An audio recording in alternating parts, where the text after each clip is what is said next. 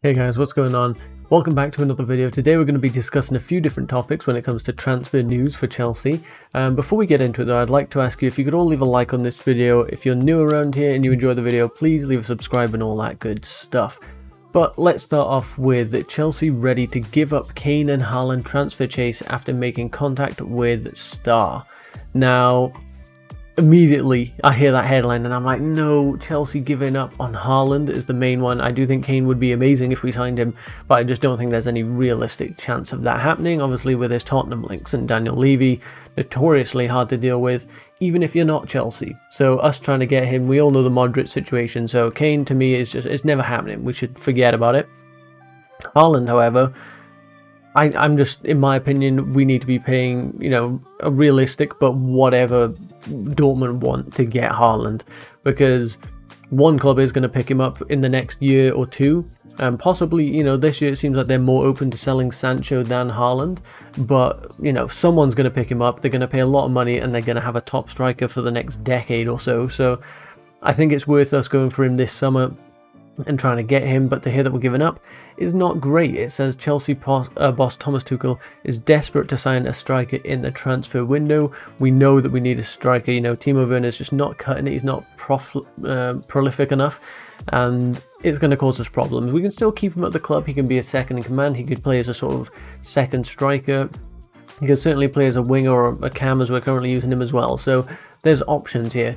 But the striker that we are apparently interested in is Robert Lewandowski. And as you can see here, Chelsea have made contact with Bayern Munich star Robert Lewandowski with a view to convincing him to sign in the transfer window. And the article goes on to mention about, you know, us wanting to bring in a top, top striker. And wow, if we were to go and get Lewandowski, that would be amazing. He's 32, I believe, if we look further down into this article. It says he's scored 47 times this year, including 40 and 28 appearances in the Bundesliga. Now the quality not as good as the Premier League, but it's not crazily far off. And I think he'd hit 30 plus, I'd hope, um, in the league would be amazing. You know, 20 plus is considered a good season. But someone like Lewandowski, experienced, knows how to play. He plays in the Champions League. You know, he's doing it against opposition of top tier. It's not like it's you know PSG players in in their league where they can dominate week in week out and hit insane numbers. He's doing it in the Bundesliga, which, as I said, not too far off the Premier League, not as competitive. Um, and I think Lewandowski has shown that he's more than capable of playing at any level. He is 32, but that apparently isn't an issue for Roman Abramovich. He's not against bringing in someone of that age, so that's, you know, if Roman's fine with it, if Tuchel wants him, I'm absolutely fine with it it does bring into question, you know, a, fee. How much are we talking to get Lewandowski? If we're going to be paying, I don't know, for a 32 year old, you got to think, say we could, you know, Thiago Silva's 36 and he's currently, you know, he's at the end of his career and he doesn't have to sprint as much as a striker would, especially in the Premier League. Would Lewandowski be still good at 35, 36? Maybe. So let's say we get two or three years out of Lewandowski is he worth 50 plus million? Are we talking below 30 million? I don't know. It's a really hard thing to gauge because when you see his numbers and we know how good of a player he is, you think you pay anything for that. Like you'd pay the same amount that you're going to pay for a Harry Kane, a, a Haaland, a, a Mbappe. But then when you consider his age, he really is a depreciating asset and we wouldn't be selling him on for anything. I imagine he would either retire at Chelsea or he'd go on to, you know, leave to go to China or the MLS or something just to have another season of a bit of a, a bit of a payday, but also experiencing a new league. Um, 32. I think if if we could get him for below 50 million, I think it would be worth doing.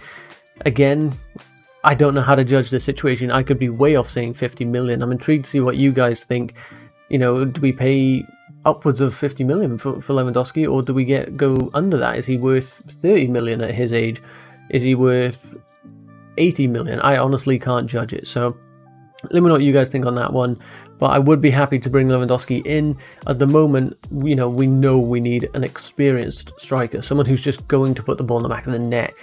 With Haaland, you still get that, but you also get the youth side of him. But if Dortmund aren't going to sell for anything other than like 150 million or 130 million, something crazy, then I can understand us going for someone like Lewandowski. So I'm fine with this one. Let me know what you guys think on this one. The next topic that we have got then is Chelsea open talks with ideal long-term Thiago Silva replacement. We know he's he's old, he's 36 I believe, so we're going to have to bring in someone to replace him over the next couple of seasons. You know, it looks like he's going to be staying on for another season, we'll extend his contract, but after that I imagine he would be done at our club. Um, and that replacement is, and I'm not too familiar with him, if we take a look here, the Wolfsburg defender Maxence Lacroix, I think is how you pronounce that. He's 21 year old centre back and he has been a huge presence at the back um, for Wolfsburg, who have already secured Champions League football for next season in the Bundesliga. So they've had a good season. Uh, he only arrived last year and already looks like one of their best defensive prospects in Europe. Um, we also, you know, when when I hear that a player arrived like a year ago and we're looking to sign them, I always think we're either paying a hell of a lot of money for this or it's just not going to happen. Then you consider the Edouard Mendy situation. I believe he was only at Rennes for a year before we came in and signed him. And of course, they paid a small fee. We then went and paid a good chunk of cash to get Edouard Mendy. And for them, you know, it's a good deal. They basically they thought they were going to keep this guy, but then they end up having him for a number of months and selling him on for a good fee, and we get a player that is a top top talent. So I'm looking at his numbers, it's hard to tell because you see here Bundesliga 28 appearances, one off the bench. Uh, he's managed one goal, one assist from, of course, the centre back position, which isn't bad. Five yellow cards, so not a you know, crazy aggressive player. Good passing, good aerials, one per game, one man of the match performance with a 7.04 average rating. His strengths are apparently his concentration, which of course is very key, and his ball interceptions. Two things I would say are strong in Thiago Silva, so I can understand why they're maybe comparing him that way. Um, and his style of play is he clears the ball out of defence often. And here you can see from top to bottom, as in in order of recency, some of his performances. And you can see he scored here against Hertha Berlin, and then you can see the performances are generally pretty good. Not this game against uh, Frankfurt there, but other than that, above average in pretty much every game. So you got to give credit to him. He seems like a good prospect, but I'm literally going off a couple of numbers on a page here. I haven't watched him play myself. If anyone that's watching this does have more, you know, analysis of uh, Maxence Lacroix, please do let me know down in the comment section. I'm sure, sure some of the other viewers as well would appreciate hearing from you. So please let us know down in the comment section down below what he's like, you know, who you'd compare him to. Is he the next Thiago Silva? Is he that calm, controlling presence in the back line, even at the age of 21 years old? Let us know. And now we're going to quickly talk about a few departures from the club. Bruno Granovsky makes three transfer decisions as Chelsea's 2021-22 squad takes shape. If we move further down into the article, it does go on to mention a few departures. One of those who is likely to depart is Victor Moses. He's been on loan with Spartak Moscow this season. I believe he's actually done quite well there. And it is his sixth loan spell at his time at Stamford Bridge, which isn't, you know, great. Um, and Romero, uh, Romano, sorry, Fabrizio Romano claims that Moses is likely to join them on a permanent deal with an agreement already reached between the two clubs. So apparently it's already happened. We just need to get the official documentation signed and such at the end of the season, and he'll be joining them on a permanent basis, assuming he's happy to do so. I imagine he is. He probably knows he doesn't have a future at Chelsea, and will be happy to go there. So Victor Moses is one. The other two then being uh, Bakayoko and uh, Emerson Palmieri, which don't surprise me. Um, I think Alonso is possibly one that will be going as well, so we might need to recruit someone at left back or promote one of the youth. But to see uh, Emerson being the one leaving, he's better than, you know, sitting on the bench every week, getting the odd game here and there. I think Emerson's better than that. He'll do well to go to a club where he gets some regular minutes, and I think he will be a good player.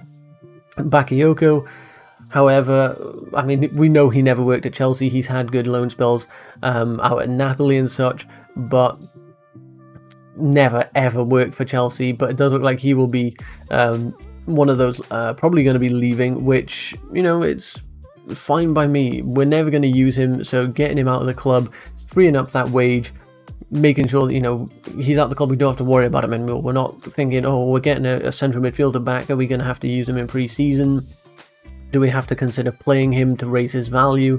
We bought him for 40 million in 2017 and I don't think we'll get anything near that um, for him now, but the club are just going to have to take this one at a loss and accept that they made a very bad decision in signing Bakayoko. So that's going to be the end of the video guys. Let me know what you thought on this one. The three departures, Moses, Emerson, Bakayoko, and then of course us not going for uh, Kane and Haaland and going to pick up Lewandowski instead. I think that is a pretty good one. And then of course the centre back that apparently is going to be the next Thiago Silva. If you know more, please, as I mentioned, let us know down in the comment section down below. Don't forget to leave a like on the video, guys. I really do appreciate it. Subscribe so you stay up to date with all my videos, and I will catch you on the next one. Goodbye.